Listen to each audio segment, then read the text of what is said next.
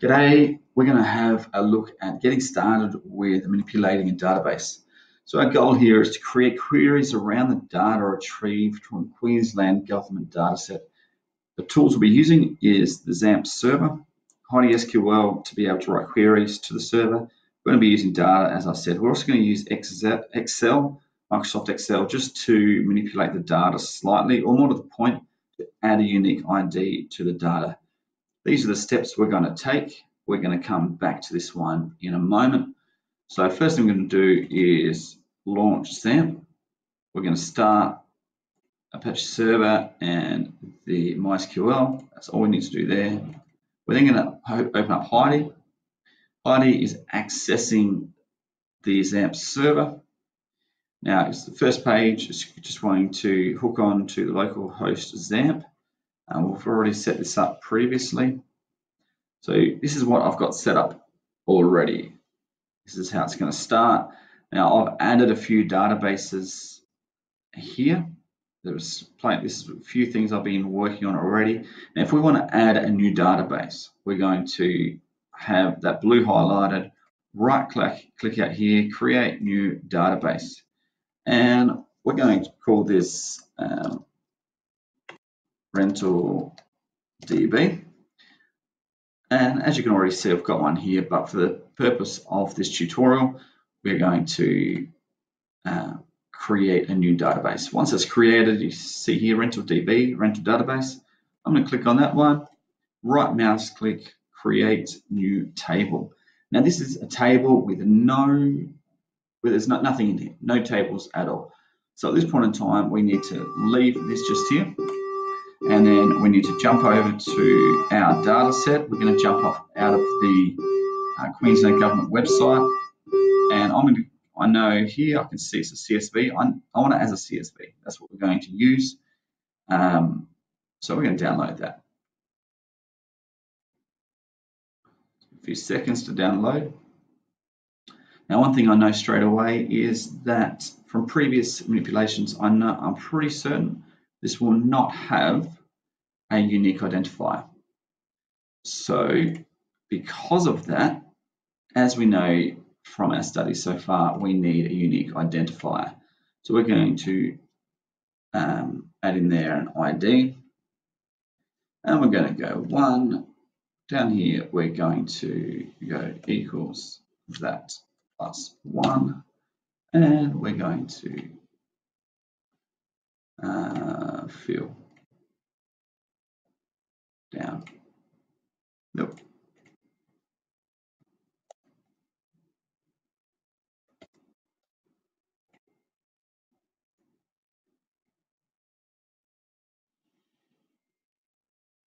Now we're all we're going to go we're going to go down to 500 for this sake. For just for the purpose of this tutorial, we're going to add 500, 500 there, and just for the sake of this tutorial, we're just going to select the rest. There's a lot of data, uh, but just for the sake of this, we're going to do that. Now, one thing we need to recognize is at the moment, we're looking here, there is a formula. We do not want a formula. So we're copy, we're to select the entire row. We're going to copy and we're going to go home. We're going to paste the values. And now when we go back here, you'll notice by pasting the values, we have a pu purely a number. We're going to file and save this. And desktop. You've got a place where you can put this yourself. Um, rentals DB, like I said. Yes. Oops. There we go. Save that. So do we, do we want to keep it as a comma delimited database? Yes, we do. Now, what we're going to do, we're going to go and check this. So, um, solutions, our database testing. Now what we're going to do, we're going to open this up just to make sure that it, it has rows and columns. We're going to just open up with a simple text editor. We're just going to open up with Notepad. So as you can see here, we've got columns and it's separated by commas. So I'm happy with that. That's just checking that that is all up to spec. That's where we want it to be. I'm just going to open up these columns a bit. Now what we need to do now is we need to create the table with these columns. Notice we want to do it exactly as they're shown here. So we've got ID and etc. So we're going to pull this over to here and we are we haven't got Heidi up and running yet. Oh, yes, we do. Sorry, right here. So we're going to pull this over just there and we're going to add a column. So column one is going to be called ID. The integer here is we're going to use um, hmm, what do we got there? Depending on the number of data sets, we're just going to use integer because that can be large. Now we, we're going to leave the rest, but what we're going to right mouse click, click on that, create, that's our primary key. Then we're going to add. Bring that across. Now yours may look like this, or you may have more space on your page. Column ID, second one is, I'm going to click on this text here, like that, and copy that into there. Now I want this to be varchar. Okay, varchar meaning variable uh, characters. I'm going to add another one in and as you can see, I'm just going to go through here and we're just going to copy that, bring across.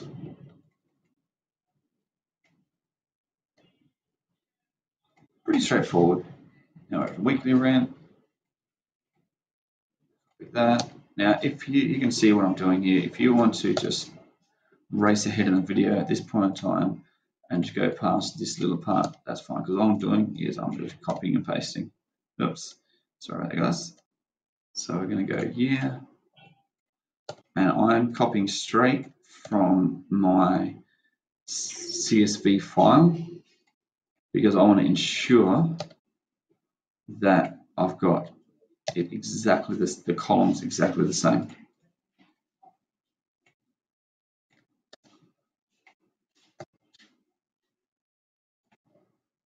Now, all of these I've just kept as varchar. I can go back and change that. I'm just going through and adding the columns. So I've got bond, postcode. Copy that into there. Locality. Okay, oops. Mark that up again. Copy that into locality. Don't need, I don't need that at all anymore. I'll finish with that. So I'm just going to close that. Uh, do I want to save the changes? I believe I do. Uh, I press cancel there, just in case. I'm not 100% sure. Now, dwelling type, sorry, let, us just have a look here. So dwelling type, if we go across here, is text. So we're going to go back here and Dwelling type, we want that as variable. Our bedrooms, we want that as an integer. We could get tiny integer, but we're just going to say integer. We're into weekly bond, we're going to say integer again. Uh, year, we're going to say integer again. Month, we're going to change that. So month is a number as well, so we're going to, it's going to be integer again. On type, so we go back over here, on type, it's text. So we're going to make that varchar. Postcode is integer once again. Uh, locality is varchar. Okay. Last thing we need to do, let's open this up. Um, so we can't save it just yet because we need to go basic and we haven't given our table name. So I'm going to go back to here and I'm going to call this March bonds uh, March 2014. That's what it is. And then I can save it. Pretty simple, pretty straightforward. Now, to get the data into this, I'll just open that up, click on that, Tools, Import CSV. I'm going to make sure this part, this is really, really important, that that is comma. And I'm going to go looking for my data set. And hopefully this is going to work.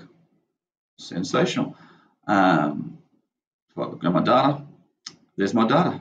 So now all I can I can go uh, query and I can begin my queries. I'm not going to write any queries here because this little tutorial is all about how to create a database, how to create a table in our database, and how to import a CSV into our table. So hopefully that helps you and we can get started on writing some queries.